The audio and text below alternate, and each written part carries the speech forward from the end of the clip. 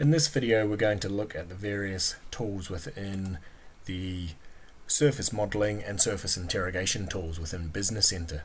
So the first very basic one is the ability to swap the direction that triangles are formed.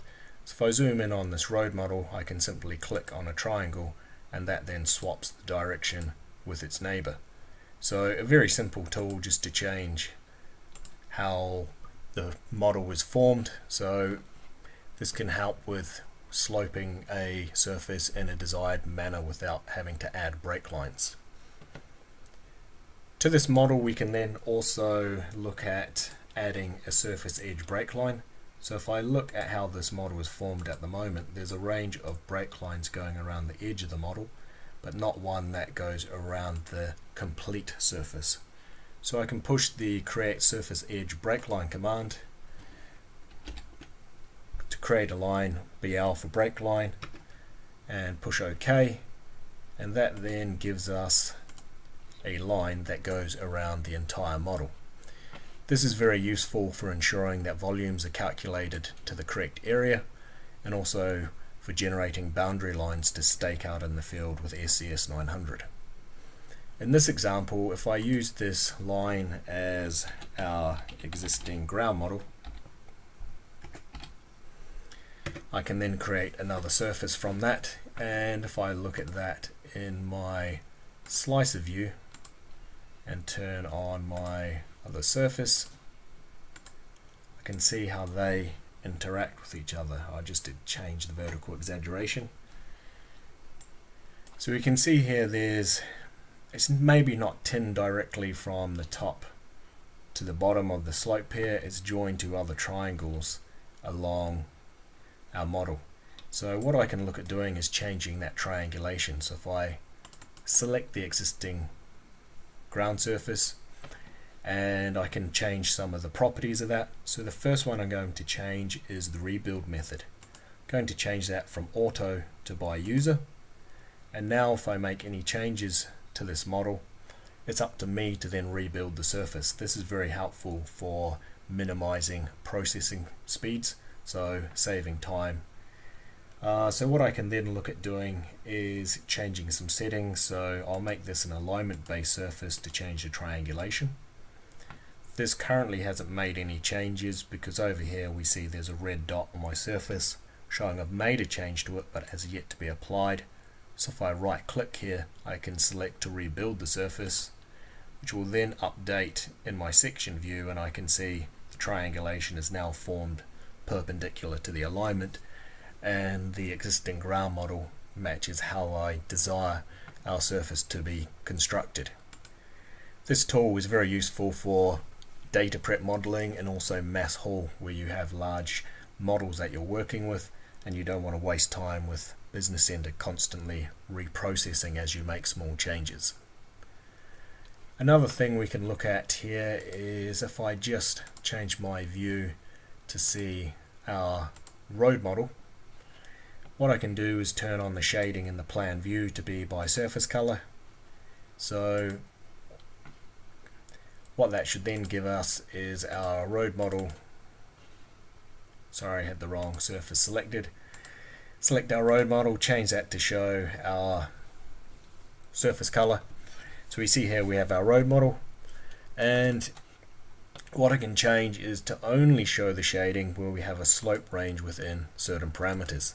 So change that to yes so between 0 and 10% we show our shading, which in this case is only on the main carriageway and within some of the steps going up the cut and fill batters, whereas the main batter slope exceeds the 10% so is not shaded. Useful for finding out or visualizing the areas of flat or steep grades that you may need to know about on a design. What is also useful in here is we can turn on slope arrows. So if we need to know which way the water flows, quite simple to view this in plan or 3D and see which way the water flows as well. In one of the other videos we looked at creating points at intervals utilizing our CAD commands. So with this current line I could select to create points every 20 meters along the line and also where we have changes of grade or direction. So this gives us a range of points along the line These could either be set out or as built points, so coming from CSV or created in the office in our COGO manner here. And what I can then look at doing is running a report to find out the deviation from the points to the surface. So if I go to my command line, I can start typing in points to surface. This then brings up the points to surface command, and here I can select a range of points, and I'm going to report these to the existing ground model. Hit apply, and now we can see the cut fill deviations for all of these points as they go along the roadway. Another useful surface tool is the ability to create surface ties. So what we can do here is create a tie from, I'll put this on a new layer.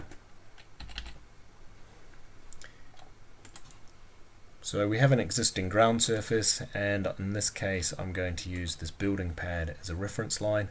So I want the slopes to go outside the building pad and I'm going to put in a spacing of every one meter it's going to go around the building pad and shoot off a cut or fill slope. So let's put in a cut slope of 1 to 2 and a fill slope of 1 to 1 and we can then have either round or sharp corner ties. Hit apply. That then shows me that currently I'm in cut. We're seeing that slopes in red. And we see that in plan and 3D view. What I can then look at doing is move this object. So my building pad is selecting. I can move that in plan. So as I click and drag, we see that then updating in the 3D view. And then now we're in blue so we can see we're in fill. So I can place this building pad where I like it to either A, in this case, maximize the view or minimize cut and fill. Or if this was a retention pond, maybe ensure we've got the correct volume uh, of water that's going to fit inside our retention pond. Uh, that could be demonstrated util utilizing SmartText, which we'll see later in this video. Now that we have the pad where we want it, what I'm going to do is create a surface from this information. So this will be our design model and I also want the slopes to be part of our surface. So now we can see we have a model of our building pad with the slopes and I can then look at merging that into the existing ground model. So if I create this as a final design and to demonstrate what's going to happen here I'll turn off the existing models or existing surfaces and the key thing is to read the note. So surface 2 replaces surface 1. So in this case, the surface 1, which is the less important information, is the existing ground model. I have an option to either finish replaces existing or keep the maximum or minimum elevation. So I'll run with finish replaces existing, push OK, and now we see we have our final model where if I make some slight changes to this, so turn off the wireframe in my plan and 3D view and make this data easier to see by also turning off our break lines and our vertices as well.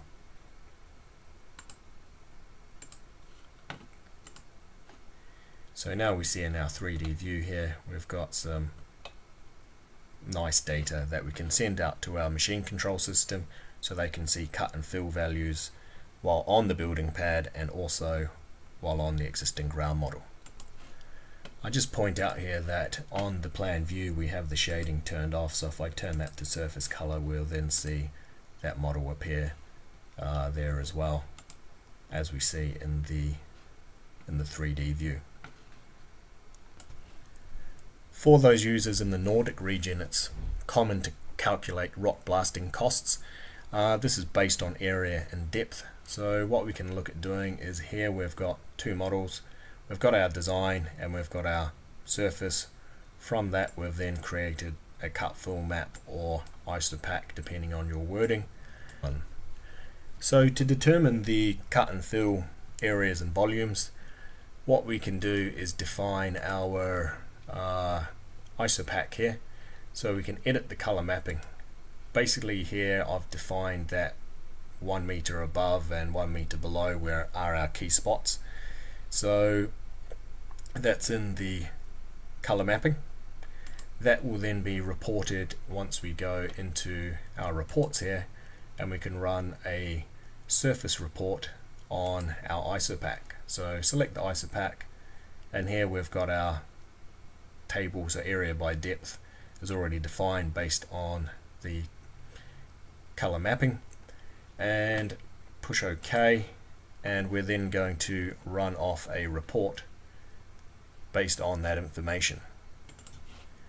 That then gives us a simple report where we get the surface information such as number of triangles and break lines etc and then we get our various information on the plan and surface area and the key thing here is we have between our 1 meter and 0 for above and below our plan surface area and our actual surface area which is useful for payment.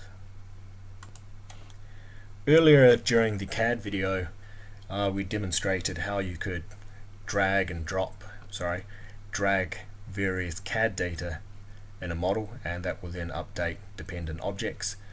Here we have a corridor model. Uh, we've turned that then into a cut fill map so we can see our cut and fill and plan view and also in 3D and we've cut a section through that so we've got borehole data showing topsoil soil and rock so our various cut materials. And what I can then look at doing is seeing how our cut fill details so I've got smart text attached to our cut fill map so we have the cut and the fill reported individually as well as the net balance and then if I select the profile and I can then drag up or down the vertical profile. So in this instance I've raised the roadway and we'll see what impact that has to the rest. So here we now see we've changed from being in cut to being in fill and we see that reflected in the 3D view in our cut fill map but that's also changed our cut fill volumes and our net volume. So it's a very simple tool for either balancing cut and fill on a site or if you're making temporary roads you can basically match an alignment to meet an existing surface. Very useful for milling projects where you want to minimize the amount of cut but still keep a solid grade. Another tool we'll look at in the video on point clouds is the ability to create surfaces from point clouds. This is useful for reporting volumes within polygons such as stockpiles. Um, but other than that, that concludes this video on the surface modeling and interrogation tools.